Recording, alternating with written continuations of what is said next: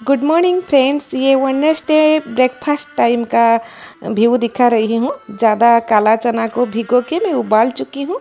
छन्नी में उसका पानी छान के रखी हूँ। साइड में टमाटो, प्याज, अदरक, लहसुन का पेस्ट उसका रखी हूँ। थोड़ा सा काला चना उबाले हुए चना को मैं सूखा रख लूँगी और ज़्यादा मैं मसालेदार थोड़ा बनाऊँगी। जैसे उसके साथ हम नमकीन मिक्सचर या क्यूकम्बर कच्चा प्याज इस तरह मिला के भी खा सकते हैं। पर थोड़ा चटपटा बनाने के लिए बच्चे भी बोले, नहीं तो मैं इसे उबाले हुए चना भी खा लेती हूँ, काला चना को। नमक हल्दी मिला के मैं उबाली हूँ पर पानी को छान के रखी हूँ। दो मीडियम साइज़ टमाटो को मैं थोड़ा जो तड़का दी हूँ, जीरा तड़का, तेल के साथ जीरा तड़का और कड़ी पत्ता, प्याज, अदरक, लहसुन का पेस्ट इसको भून रही हूँ। थोड़ा कच्चापन चला जाए, इस तक हम भूनना है। सिंपल करी बनता है, मसालेदार सूखा सब्ज़ी जैसे बनता है। टमाटो एक बड़ा था, उसको भी चप्पर में बारीक टुकड़े करके रखी हूँ। सबको मिलाना है और नमक, हल्दी भी मिला रही हूँ। मैं जब ये काला चना उबाल के रखी थी, उसके साथ भी नमक, हल्दी मिलाई थी, पर पानी छान ली है, इसलिए ये मसाले को देखकर थोड़ा नमक, हल्दी भी ऐड की हूँ। और मसाला जब अच्छे से भून जाएगा, उसको मिला के फिर से मसाला के साथ भूनना है। इस तरह मैं बना रही हूँ। ये आप लोग जानते हैं, फिर भी मेरा तो ये जो काम है आप लोगों को दिखाना है, इसलिए थोड़ा आप लोगों को दिखाई हूँ। ये बहुत हेल्दी भी होता है। आप लोग जानते हैं, ब्रेकफास्ट में खाए तो हेल्थ के लिए भी ज़्यादा अच्छा होता है। मैं फिर से थोड़ा सा नमक ऐड की हूँ, क्योंकि मुझे लगा नमक कम पड़ सकता है। मैं पानी को छान ली हूँ, इसलिए नमक को बैलेंस की हूँ बाद में और थोड़ा सा पानी हाफ़ कप के करीबन मिला के आ, मसाले को और ये काला चना को भून रही हूँ ताकि सब फ्लेवर अच्छे से काला चने के साथ मिल जाए। सब्ज़ी ग्रेवी वाला नहीं बनाऊँगी सूखा सूखा जैसा बनेगा। इस तरह देखिए हो गया है ये तो उबाल के रखी थी पर मसाले के साथ थोड़ा सा भून लेना है। और देखिए ये बन ही गया है और आप चाहें तो उसका स्प्राउट्स भी बना के खा सकते हैं। ये बहुत अच्छा ऑप्शन है ब्रेकफास्ट के लिए। और थोड़ा सा मैं हस्बैंड के टिफ़िन में दे रही हूँ।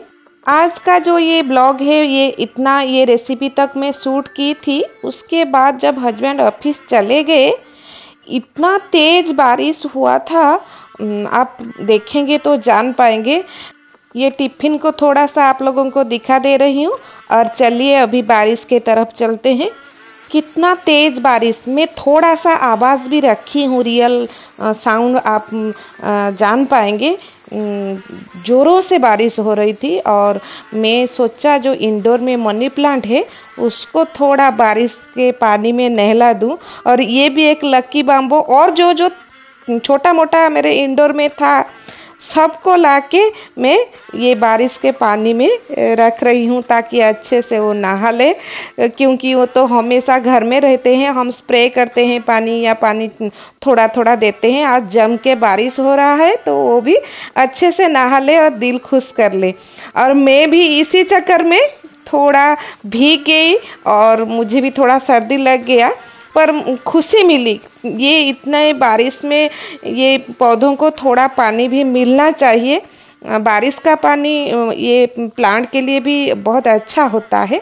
और जो यहाँ पे है, थोड़ा मुझे लग रहा था सूखा सूखा जो गमला, उसको भी ला के रख रही हूँ। उसको रखना और फिर से लेके साफ़ करके अंदर में जो जगह में लाई हूँ, उस फिर से रखना। ये तो बहुत मुश्किल काम है क्योंकि बारिश में भीग के मैं ये सब की हूँ। इसीलिए बाद का जो ब्लॉग में रेसिपी और क्या काम शूट नहीं कर पाई।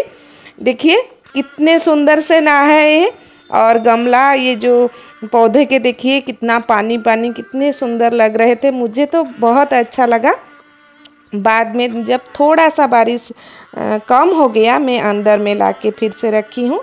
और इसी तरह ये ब्लॉग में आज इतना तक मैं शूट कर पाई थी। ये भी मेरा काम है।